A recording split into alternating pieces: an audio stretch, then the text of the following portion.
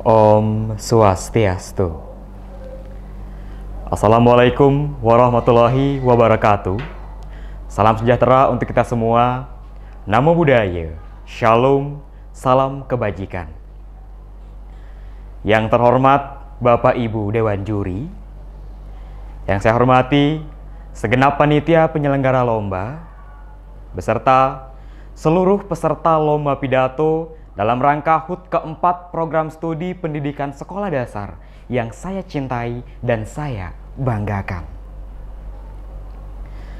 Pertama-tama, izinkan saya untuk memanjatkan puja dan puji syukur kehadirat Tuhan Yang Maha Esa.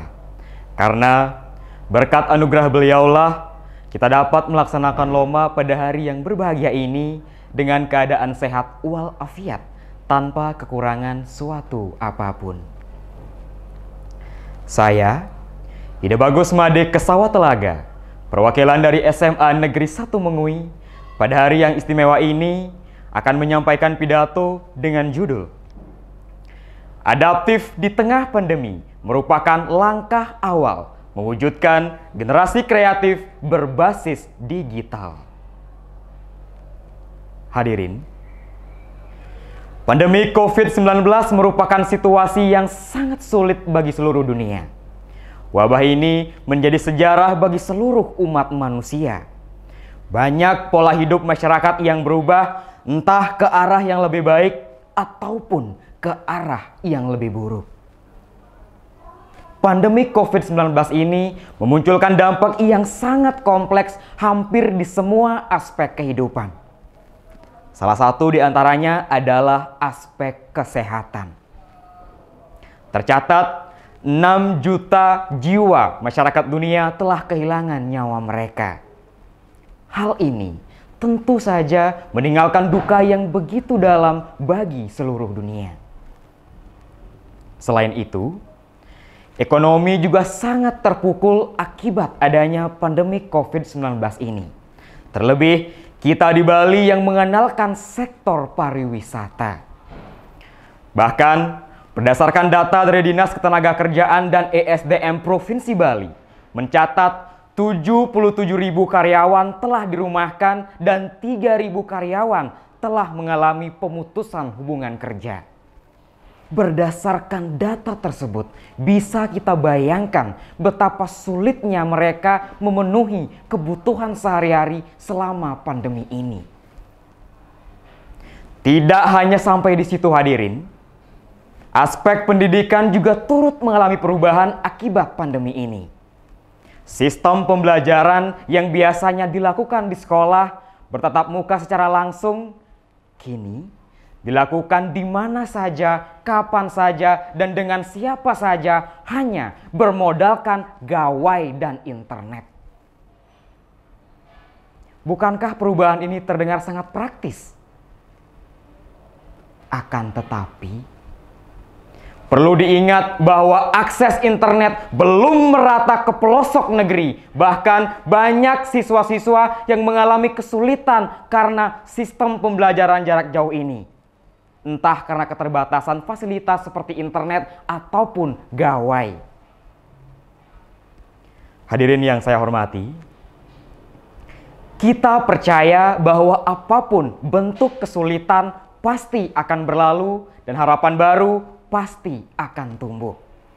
Begitu pula dengan pandemi ini, Begitu banyak kesulitan yang kita hadapi, tetapi di balik semua kesulitan itu ada hal penting yang dapat kita pelajari, yaitu menjadi adaptif.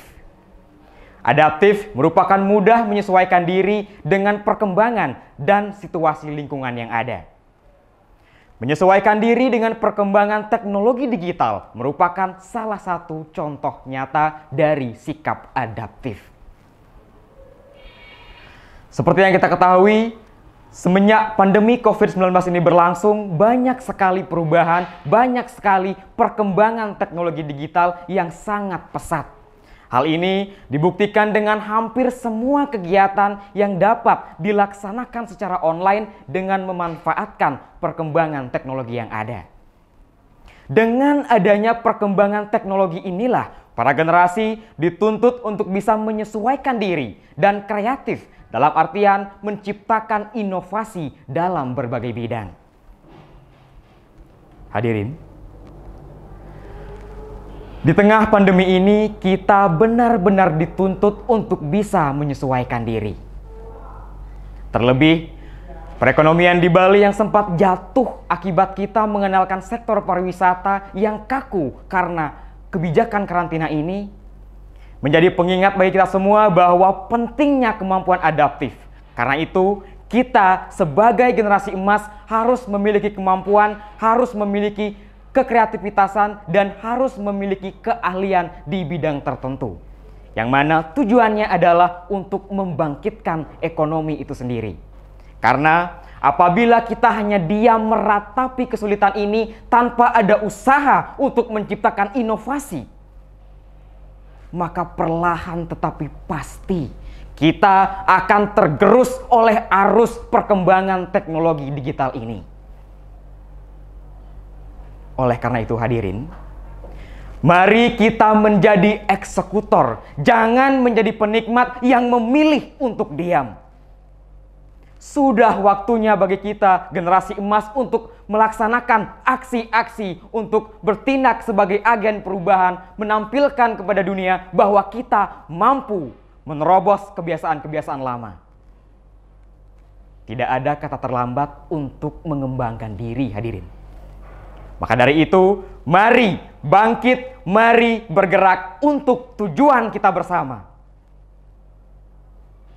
Hadirin yang saya hormati, Demikianlah pidato yang dapat saya sampaikan pada kesempatan yang istimewa ini.